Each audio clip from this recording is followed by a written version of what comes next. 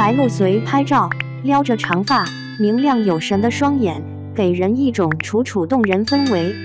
三月一十号，白鹿在社交平台上晒出了一张自拍照，照片中她坐在车里看着镜头，撩着长发，眼神灵动。这张照片近距离拍摄，更加凸显了白鹿的美丽可爱。白鹿双眸明亮有神，展现出智慧的眼神。而提到智慧，不得不提白鹿在综艺节目《奔跑吧兄弟》中的表现。她在猜歌名或影视剧名的环节中，展现出了超高的智商和聪明才智。白鹿在一期节目中有一个带有红唇图案的黑板，她立刻就喊出了“吻别”，令其他成员惊讶。之后出现了一个皇冠图案，白鹿也迅速喊出了《甄嬛传》。他的聪明才智和对细节的敏锐观察，让其他成员相形见绌。跑男沙溢更是表示这是差距。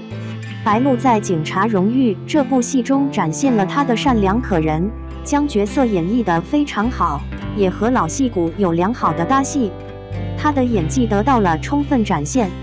结合以上事件，白鹿展现出她的美貌和聪明才智，成为了人们讨论的焦点。他在综艺节目中的表现令观众们印象深刻，而他在电视剧中的演技也受到了认可。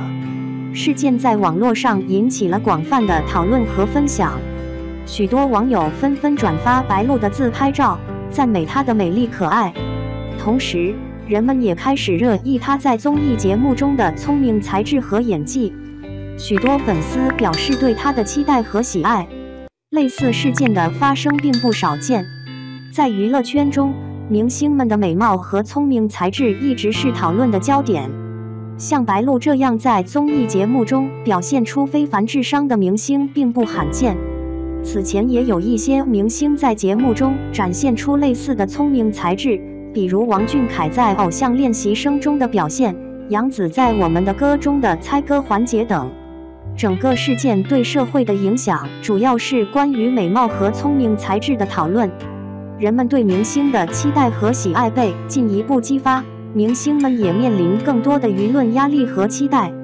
对于白鹿个人来说，该事件进一步增加了她的曝光度和知名度，也对她的形象产生了积极的影响。截至目前，该事件尚无最新进展。然而，从事件中可以看出，白鹿的美貌和聪明才智成为了人们讨论的焦点。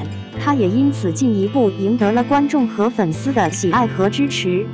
起来，白鹿在社交平台上发布的自拍照引发了人们对她美貌和聪明才智的讨论。